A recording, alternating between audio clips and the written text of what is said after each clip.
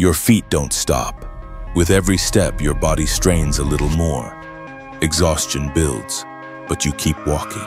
Your eyes close, your muscles burn, mus and still you don't stop. But what if you never did? Let's see, step by step, how your body begins to break down. Your feet are getting warm. You start to feel the tempo. Light sweating begins. Slight ache in the feet. Your breathing quickens. Feeling of slight pressure in the knees. The muscles begin to tense. The feeling of thirst increases. Your eyes blink more frequently. It becomes difficult to maintain the tempo. Soles of feet throbbing. Heart rate increases, concentration decreases. Numbness begins in the legs, your posture is deteriorating. Nausea is felt, sleep pressure begins, your knees are shaking.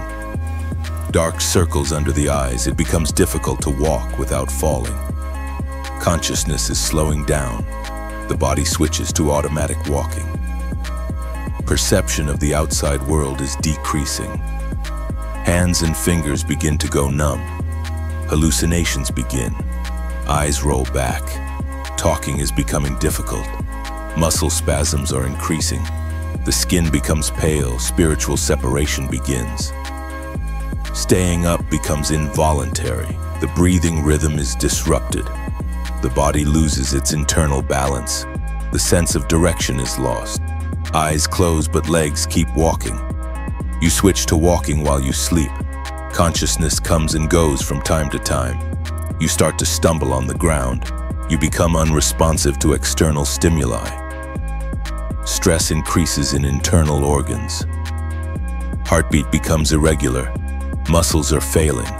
You lose your balance, fall down and get up. Consciousness is almost non-existent. Pupils dilated, fixed. The brain only focuses on the walking command. Everything else is closed. Complete body collapse. The threshold of clinical death has been reached. You just walked. The rest disappeared with you.